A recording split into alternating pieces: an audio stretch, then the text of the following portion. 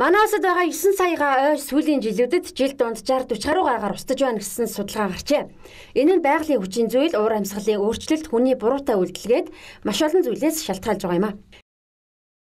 Яг юунаас болоод ямар хүчин зүйлсээс болоод ой хомсдоод байгаа, доройтоод байгаа гэдгийг бол бас судалж үзсэн байгаа. Энэ дээр бол ерөөсөө үндсэн 3 хүчин зүйл байгаа. Нэгдүгээр ой хэрийн төмөр, хоёрдугаар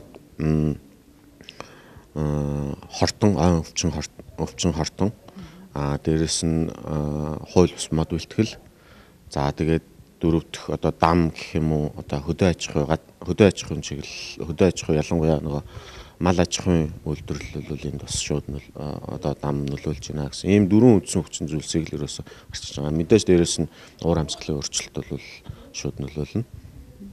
Тиймээс устдаж үгүй болж байгаа ойгоо арчлах, аривлах зайлшгүй шаардлагатай тулгарч байна. За ингийн тулд манад ойролцоогоор 6000 орчим ой мэрэгчлэлтэн шаардлагатай юм а. Гэвч ийм хэмжээний мэрэгчлэлтэн манад байхгүй байна. 90-ад э, оноос эхлээд түрүүн бас илтгэл дээр гарч ирсэн тийм ээ. Ой мэрэгжлийн ажилтан бэлтгэх одоо энэ тогтолцоо маань баг одоо устдаж үгүй болох шахсан. Тэгээд нэг 2000 оноос одоо эхлээд жаахан сэргэж эхэлж байгаа. За тэрнээс хойш ингээд аваад үзэх юм бол бид нар ингээд нөгөө яг одоо бидний хамтарч ажилладаг, түншилж ажилладаг сургуулиудынхаа одоо төвшөнд ялангуяа энэ ойн арчилгаа ашиглалтын ажилтан за ойжуулагч мэрэгчлэр бол нэг 300 гаруй одоо мэрэгчлэлтэн тийм ээ бэлтгэгдсэн бэлтгэгдээд гарч байна гэж бол үзэж байгаа.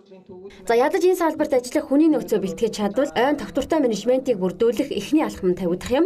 За ойн тогтвортой менежментийг хөгжүүлснээр уул уурхай хөдөө аж ахуйгаас илүү ашиг орлох боломжтой гэдгийг мэрэгчлэнүүд онцолж байна.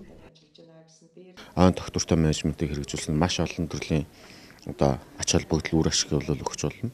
Одоо түрүүнд би хэлсэн ажлын байрыг бий болгох тийм ээ За дээрэс нь хүн амын эрүүл мэндтэй холбоотой биологийн олон янз байдлыг хамгаалах мөн дэлхийн нийтийн тулгымцсан асуудал болох одоо уур амьсгалын өөрчлөлтийг сааруулах гэх мэтлэн маш олон төрлийн ач холбогдолтой л доо. Ой гэдэг маань тогтвортой ашиглаад ирэх юм бол уул уурхай барилгаас илүү одоо тийм ээ бараг тэдэнтэй дүүцэх одоо тийм амьдралаа аваад явах одоо тэр чадамж хамгийн ойрын жишээ хэлэхэд бол Герман холбооны богино найрамдах Герман улсын ойн одоо салбар 300 жилийн тэртээ бол баг сүрлийн мөхөл дээр ирсэн байсан. Уул уурхаа одоо юу гэдгийг яг л одоо өнөөдрийн манай дүр зураг шиг Тэгээд яасан бэ гэхэлэр өнөөдөр энэ Герман улс бол энэ айн доктортой менежментийг хамгийн одоо шилдэг аргаар нь тийм ээ жинхэнэ утгаар нь ингээ хөгжүүлээд явж байгаа. Тэрнээсээ одоо эдийн засаг одоо хүн амынхаа амжиргааг тийм ээ а одоо хүчрхийг эдийн засаг шүү дээ. Ингиж их том одоо баялаг болгож ингэж чадсан улс нь бол Герман улс гэж бид нар үздэг. Тиймээс манай улс ойн тогтвортой менежмент гэдэг зүйлд анхаарч ажиллах шаардлагатай байгааг мэрэгчлэнүүд онцолж байгаа юм. За энэ хүрээнд Германы хамтын ажиллагааны UN Red хөтөлбөрийг хэрэгжүүлж эхэлжээ.